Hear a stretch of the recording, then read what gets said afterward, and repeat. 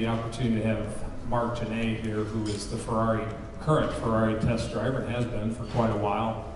Storied career, many races in Formula One, and uh, worked with many teams over the years. So I'd like to bring up Marc, if he could, from the back. Marc Gené, everybody.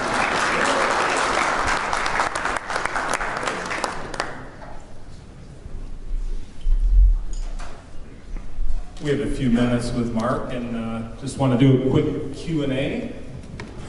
So Marc, we know you are with Ferrari, you're a test driver, but it's probably much more than that. Why don't you explain to everybody what your role is with Ferrari?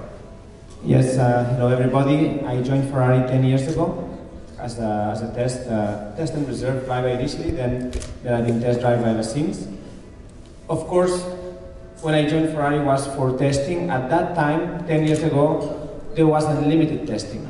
That means every team decided how much testing uh, the team was doing, and Ferrari, we had, let's say, an advantage because we own two, two test tracks. We own Fiorano, which is where the, the Ferrari road cars are developed. Fiorano is within Maranello.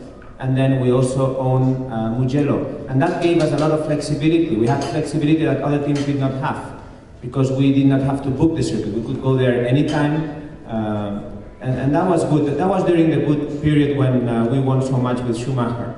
Then the rules came whereby testing started to be polished and started to be reduced. And up to a point where there is almost no testing now. So what happened then? When Ferrari started to foresee that testing was going to be so reduced, I started developing the simulator. I worked on the simulator around eight years ago. I spent five years just developing, developing it from zero.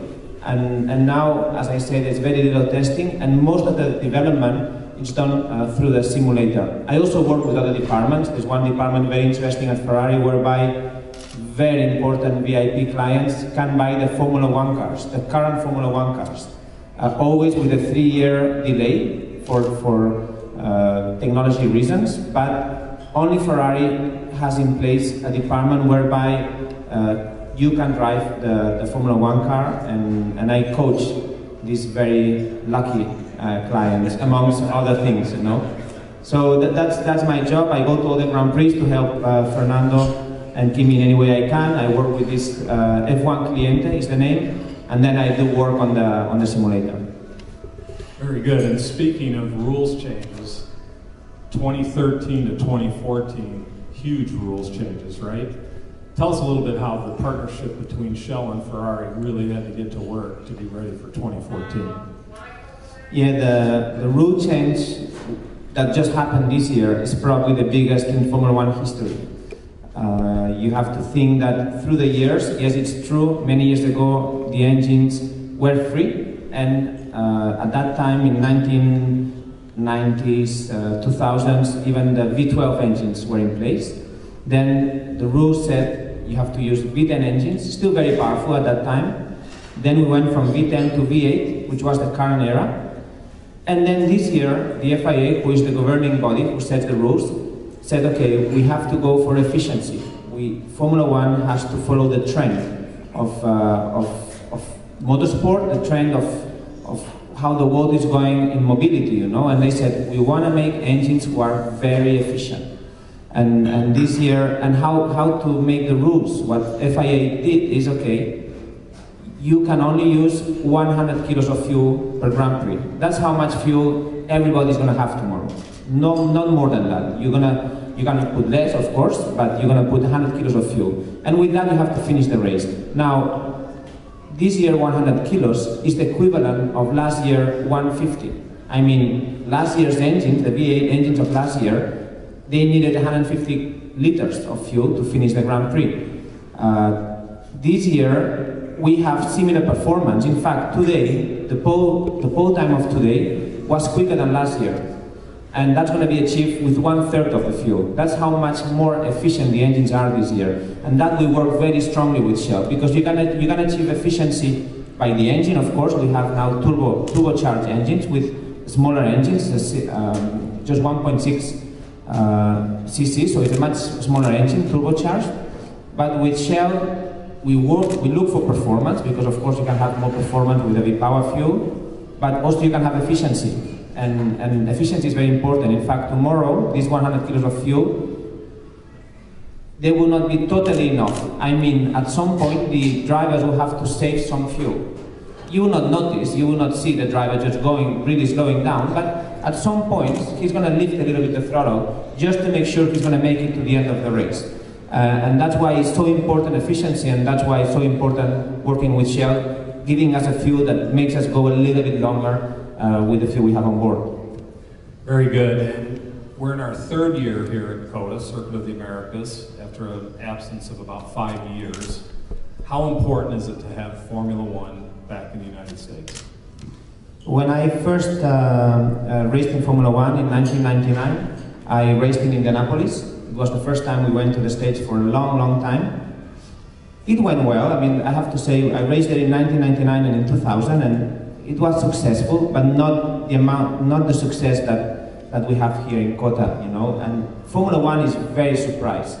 The fact that it's sold out tomorrow, the fact that there is so much awareness, the fact that the city is leaving this Grand Prix, and, and Formula One, we are delighted to be here, and we are so happy that uh, that uh, Americans, fans, they, they all really follow it so much. So uh, it's going very well. It's one of the most successful Grand Prix at the moment. And it was a big surprise because we did not expect such a nice welcome from the, from the American fans to Formula One. With the current drivers, how do they like COTA as a track and its layout? Do they like racing here? Yes, if you've seen, I know you've been to the racetrack today, turn one is very special, of course, you know, it is uphill. That's not very common to have this type of turns in, in Formula One, not at all. And then the corners after that, the first sector is, uh, is like six or seven corners, all high speed. And, and to have a section like that, you only have in Silverstone in England, and there's another very nice Grand Prix in Suzuka in Japan. So COTA now, if you would rate which is the circuit that we drivers like the most, it would definitely be in our top three, top four. And, uh, and that's very good because you want to drive a Formula One car in a circuit that it really gives you a feeling of going fast, and, and COTA is one of them. That's great. So as we look to tomorrow, uh, with a lot of strategy being discussed today based on today's qualifying and practice, what would you expect from both drivers? Different strategy approach to the race, or what would be the difference between Kimi and Alonso? Yeah, there's two things very important tomorrow. Uh, before I spoke that we look for performance and we look for, for efficiency with Shell. There's another third aspect that is very important that may affect the strategy tomorrow, and that's reliability. Another rule for this year was that you must, you cannot use more than five engines for the whole season. Now, to do 19 races with five engines, and I mean five engines for the whole weekend, means that you have to do a lot of kilometers. Now, with the, with the current engines, you have to do 4,000 kilometers in order, in order not to get a penalty. I'm saying this because tomorrow you're going to see Sebastian Vettel starting from the pits. And that is because he has to use a sixth engine. And that's the penalty you get when you have to use another unit of the engine. So that will affect tomorrow's strategy because everybody, we are all in the limit on, on kilometers. And reliability, you can also we have great help from Shell on, on the fuel and the lubricant. So reliability, not only efficiency, reliability now is a big thing.